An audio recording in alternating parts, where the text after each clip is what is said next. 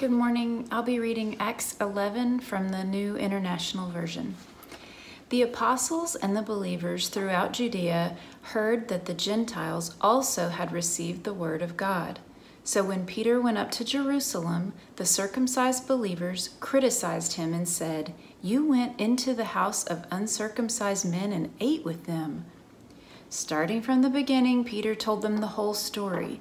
I was in the city of Joppa praying, and in a trance I saw a vision. I saw something like a large sheet being let down from heaven by its four corners, and it came down to where I was.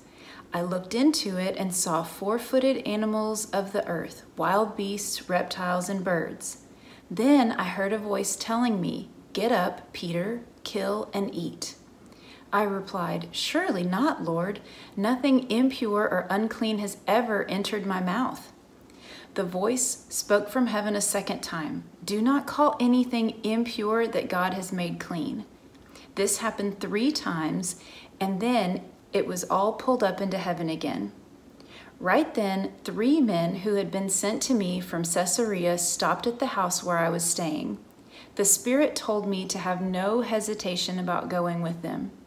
These six brothers also went with me, and we entered the man's house. He told us how he had seen an angel appear in his house and say, Send to Joppa for Simon, who is called Peter. He will bring you a message through which you and all your household will be saved. As I began to speak, the Holy Spirit came on them, and as he had come on us at the beginning. Then I remembered what the Lord had said John baptized with water, but you will be baptized with the Holy Spirit.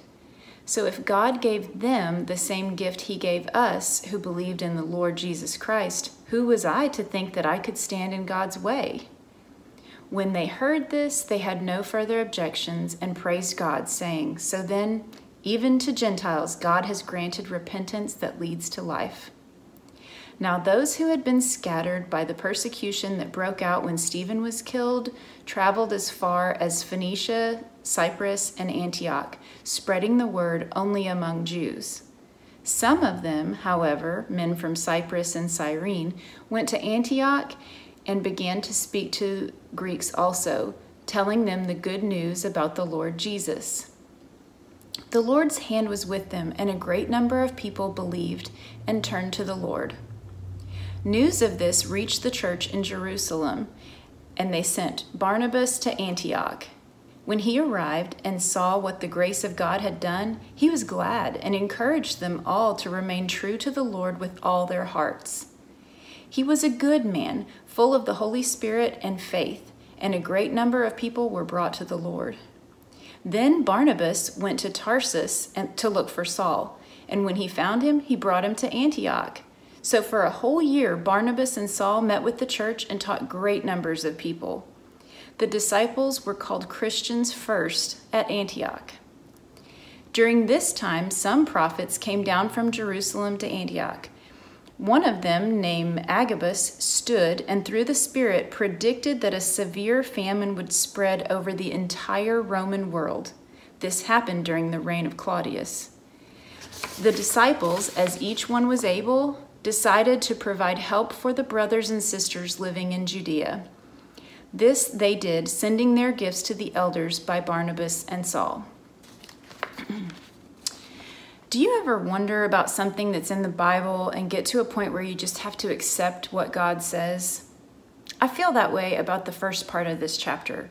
The phrase, get up, Peter, kill and eat, really bothers me. I don't understand why God intended for us to kill and eat animals for our nourishment. Couldn't He have come up with a less gruesome way? I've thought about this for years, really, years.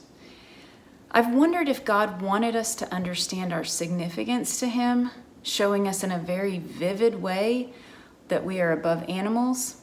Or maybe it all comes down to understanding that death gives way to life, a metaphor about His Son. But every time I think about it, I conclude that it's just not something that I'm meant to completely understand yet, and that my understanding isn't a requirement for acceptance. There are many things we will never understand about God. Maybe we can ask Him when we see Him in heaven, or maybe it won't matter anymore.